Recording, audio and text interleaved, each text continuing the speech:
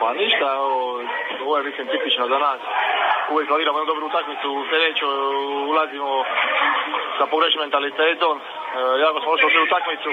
Međutim, uz to sve smo odigrali jako dobro to prvo vrijeme, imali smo dobar rezultat. Međutim, e, kao je protiv Španjolske, e, jednom individualnom greškom, e, ovaj put mojom, smo vratili protivnika u utakmicu i morali se trest do samog kraja.